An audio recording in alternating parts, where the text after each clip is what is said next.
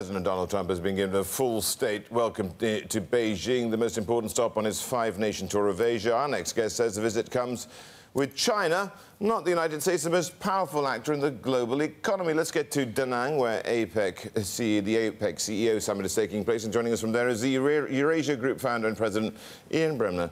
Uh, Ian, thank you for joining us. Uh, why do you say that? Sure. Uh, why, I, am sorry, there's a lot of ambient noise here. Why did I say what? That China and not the United States uh, uh, is the most important actor on the global economy. Yes, well, uh, certainly. I mean, as a government, uh, the Chinese economy is only about 60% the size of the U.S. economy, so America uh, clearly is more important.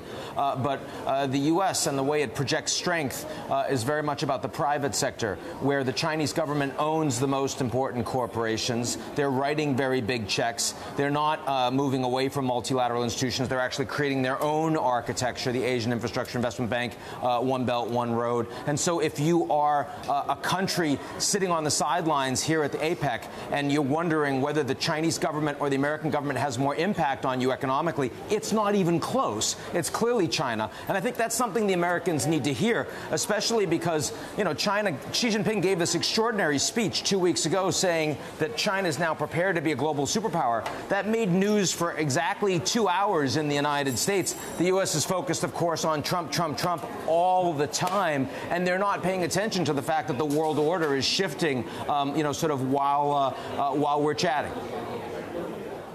Well, absolutely. You described um, in Tokyo, I believe, uh, the U.S. president as the, quote, the weakest leader in modern history, and the Chinese president Xi Jinping as the strongest.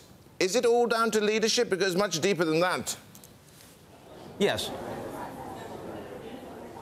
No, no, no. As I just mentioned to you, a lot of it is structure. It's the fact that the Chinese, you know, have strong industrial policy. Uh, the Chinese are a state capitalist system. Uh, for, for decades, we've been presuming that as China got wealthier, they were going to need to politically reform. That's clearly not the case today. Xi Jinping is not only not politically reforming, but Chinese leadership is much stronger today than it has been at any point since Mao, while the United States is much more deeply uh, divided. Uh, and we see that in terms of Congress. We see that in, in terms of the civil wars within the Democratic and the Republican Party. But yes, part of it is leadership. The fact that Donald Trump is a particularly weak leader, his popularity is particularly low. I mean, even a strong leader in the United States isn't able to do all that much. Uh, and, and a lot of that is the checks and balances of the American political system. But a weaker leader um, that is talking about America first, which makes sense for Trump's base, but internationally, it goes over very badly with most of America American allies in the world. Not all, not Japan, not Saudi Arabia, but most. And it certainly provides a lot of space for America's antagonists to do more, a vacuum that they can play in that they didn't really have before. And, and Xi Jinping and the Chinese are clearly head and shoulders above everyone else in recognizing that and in taking advantage of it.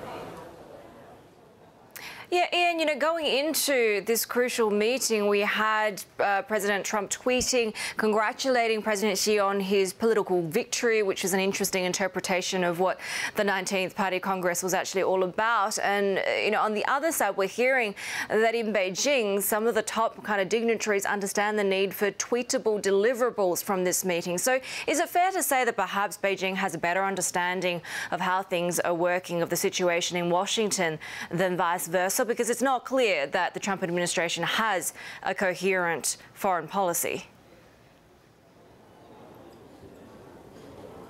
Look, I mean, I, I, think that there are things that the Chinese very much like about the Trump administration. They love the fact that human rights is no longer really an issue, uh, that they're getting criticized by the American president. They like the American president is very transactional in terms of deal making. That's been historically a much more Chinese uh, approach. What they don't like is the uncertainty. They don't like the fact that they're not certain um, about how much trouble Trump might cause, both in terms of the U.S. China trade relationship directly, but also greater possibility that Korea could become conflagration. Um, and, and so uh, clearly what the Chinese want to do is they, make, they want to make Trump feel good in a relatively costless way. So give him all of the pomp and circumstance, throw a great party for him, show of incredible respect. You're so wonderful, Mr. Trump. You're, you are truly the greatest. You are making America great again. In the same way the Chinese have done with Putin, who, I mean, frankly, when you talk to the Chinese pri- privately, they don't feel very strongly about Putin. They think that Russia's a country in decline, but but they think it's very easy for them to you know sort of just give them, make them feel good, as opposed to try to undermine them by saying, hey, you don't really matter. That was something Obama wasn't very good about. You remember Obama said Putin's a you know a not very important and Russia's a country in decline. Didn't score any points that way, right? The Chinese are pretty good at that. Trump could probably learn a couple uh, pages from the Chinese manual on that issue. But let's be clear: the best meeting that Trump has had so far, his most successful since he's become president on the foreign policy agenda, was when he invited Xi Jinping to Mar-a-Lago. That went well. And from what I'm seeing so far, I think that's going to be reciprocated in the Beijing trip. It may not be sustainable for four years. I don't think it is. But for now, it appears pretty stable. And so far, Trump's trip to Asia has been a success.